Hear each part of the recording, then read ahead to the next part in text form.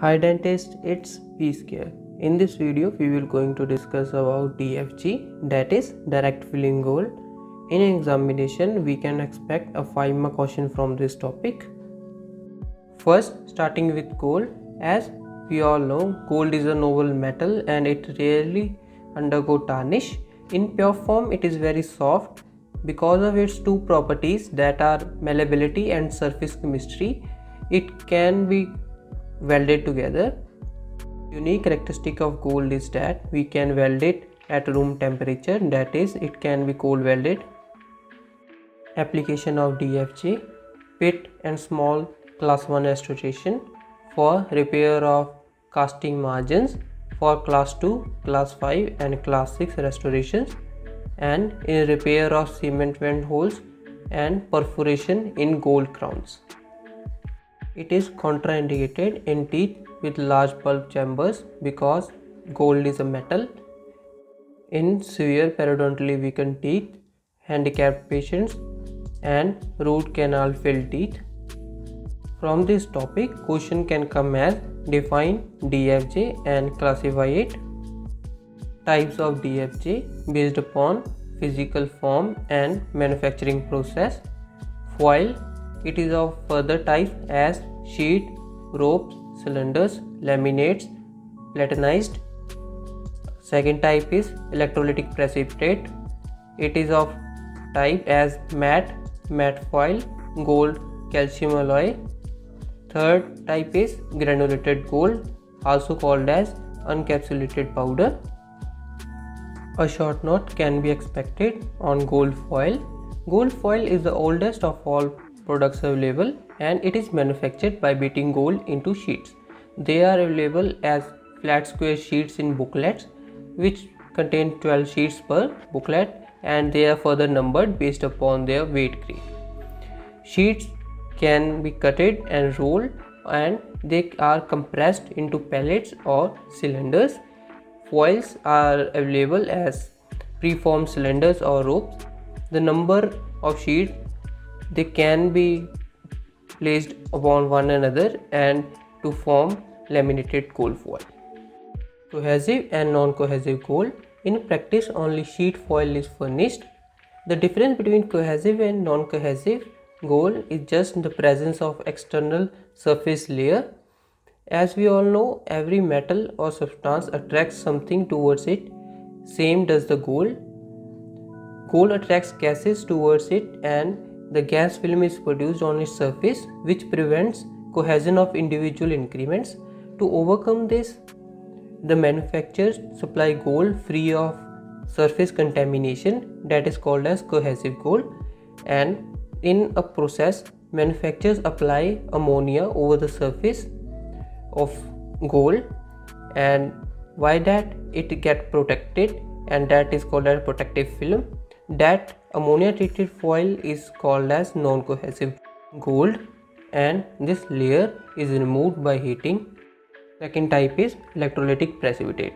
In this by the process of electrolytic precipitation crystalline gold powder is found which have dendritic crystalline structure and further this powder is processed by heat fusion or sintering into different shapes matte gold in this electrolytic precipitate is sandwiched between two layers of foil. Matte foil gold. In this the sandwich of electrolytic precipitate powder is between the number sheet of gold that we have discussed. In this number 3 gold foil is used. Alloyed electrolytic precipitate. In this calcium is added which increases the hardness and strength. Most important question from this topic is a short note on annealing and degassing or a direct note on degassing of DFG. Manipulation of DFG, it has three processes as degassing, compaction and finishing. Desorbing or degassing as we have discussed the difference between cohesive and non-cohesive gold. Even though the most of the gold that the dentist receive is cohesive in nature but during storage or packing, it absorbs gases from the atmosphere which will prevent the fusion of gold. To overcome this, we heat the gold for placing it into the cavity. This process of heating and by this removal of gases occur is called as degassing or desorbing. Degassing can be done by two ways as electric annealing or flame desorbing. In electric annealing, a higher temperature of 340 to 370 degrees Celsius is used and it is done for approximately 5 to 20 minutes. The problem here comes that the pellet they stick to each other.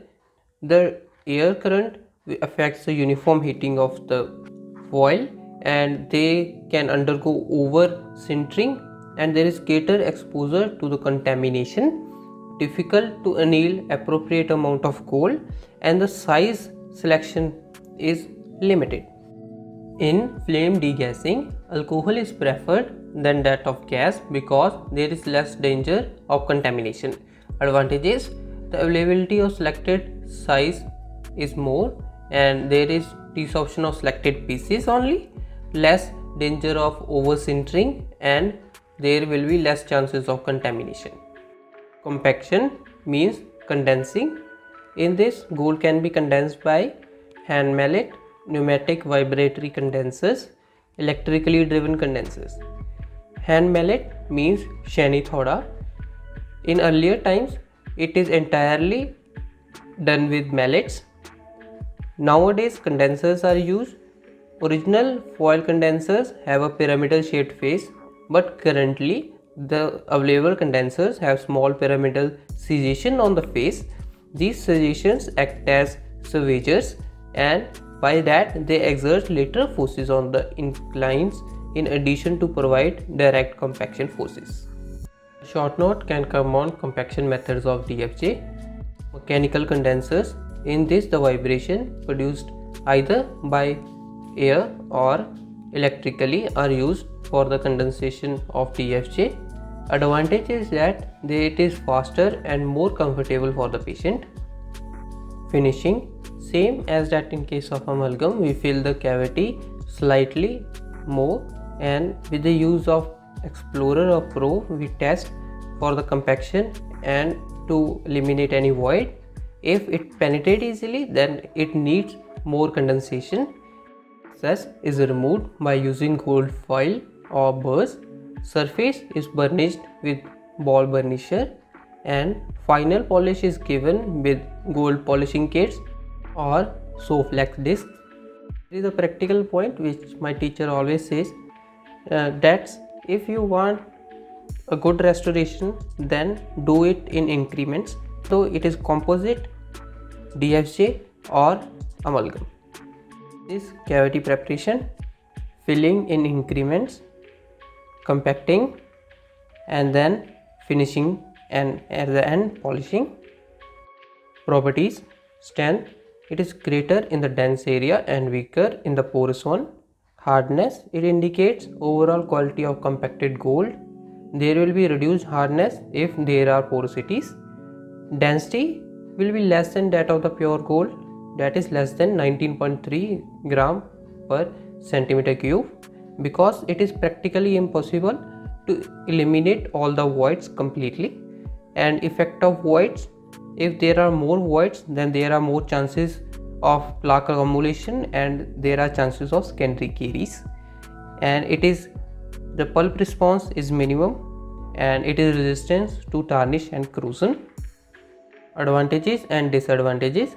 Starting with disadvantages firstly because it is non-static and it is have a higher coefficient of thermal conductivity cause of which we cannot use this in large pulp horn cavities.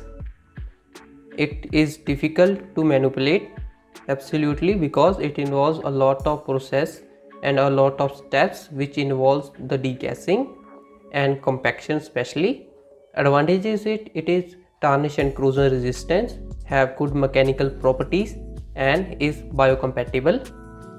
This is all about this topic. Thanks. Make sure to share the knowledge with your friends and keep supporting.